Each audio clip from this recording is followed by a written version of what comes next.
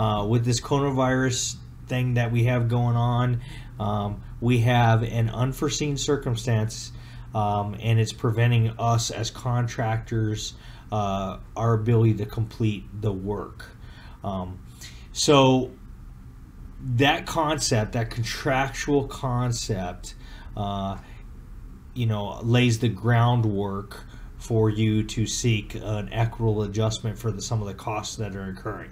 It's unfortunate this occurred, uh, but it doesn't mean that your company, as a general contractor, needs to go under because of a delay that is completely out of your control.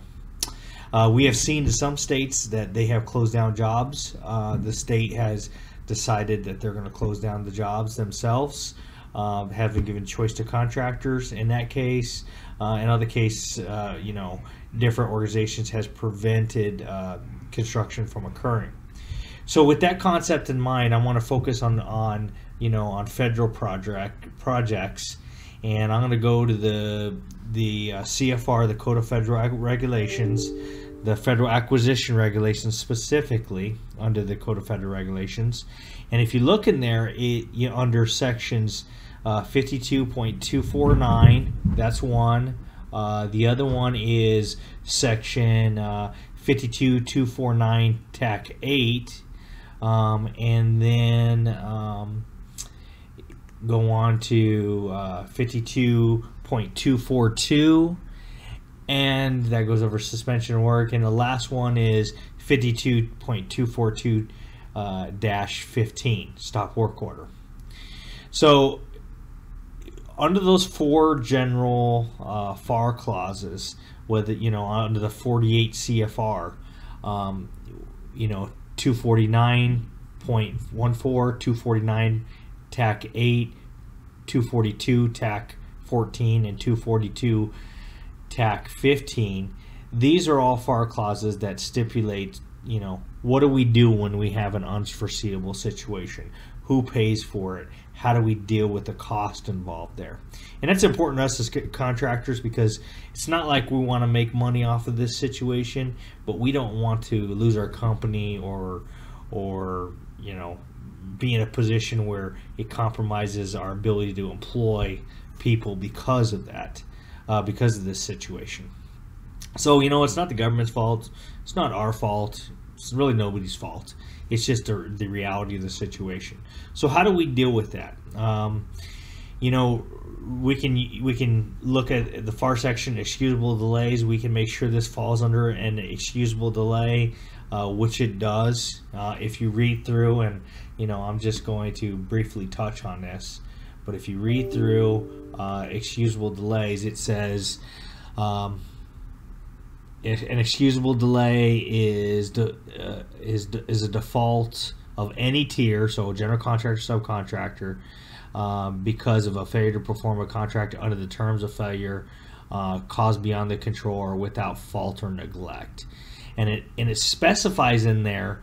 It says number one, acts of God, um, or the public or of the public entity acts of government in either uh, sovereign or contractual capacity fires, flood, epidemics, uh, quarantine restrictions, and a lot of those apply here. So uh, we know that this is considered an excusable delay under FAR Clause 52.249 TAC 14, uh, which was put in place April of 1984.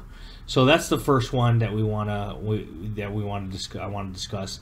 The second one uh, we can discuss is the defaults. Okay, now um, there's a lot in here about you know the government's right to terminate, terminate by convenience, but that doesn't mean that the owner or the government doesn't have a, a, some responsibility there if they terminate the contract.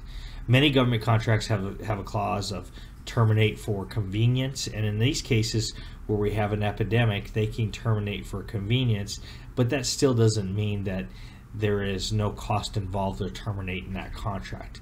Uh, that is outlined in FAR Clause 52.249 TAC 8, uh, primarily on fixed price contracts.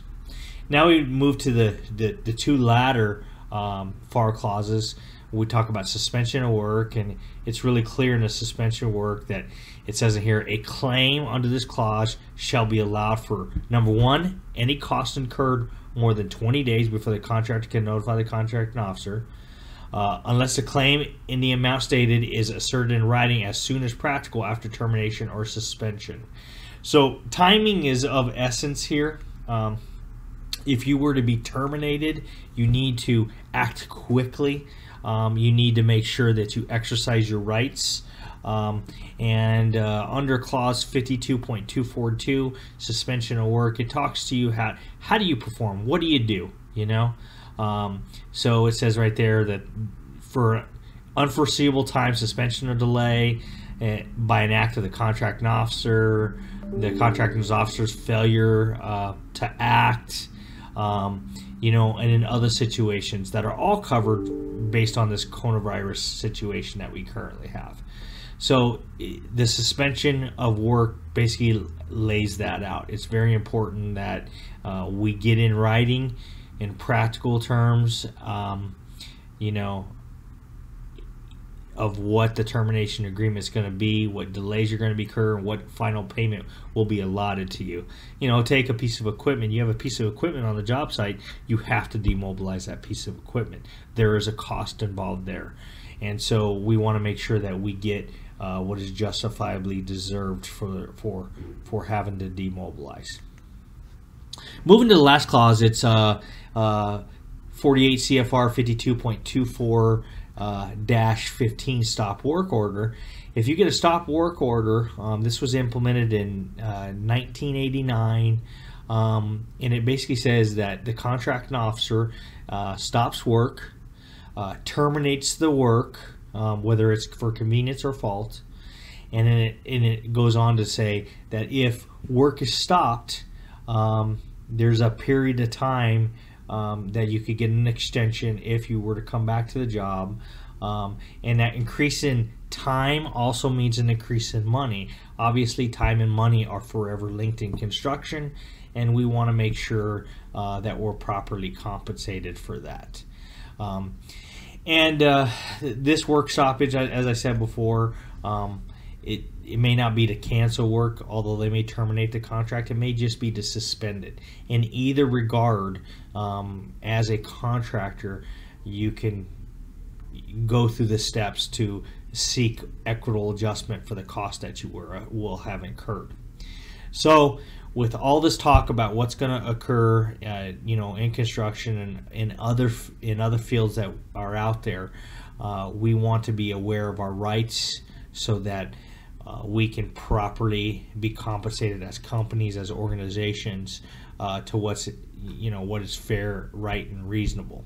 This is not uh, you know these clauses were put in place to make it to try to to uh, create a a a set of standards and and as I said before, the coronavirus is not the fault of the government. It's not the fault of the contractor, but it is inevitably still a delay.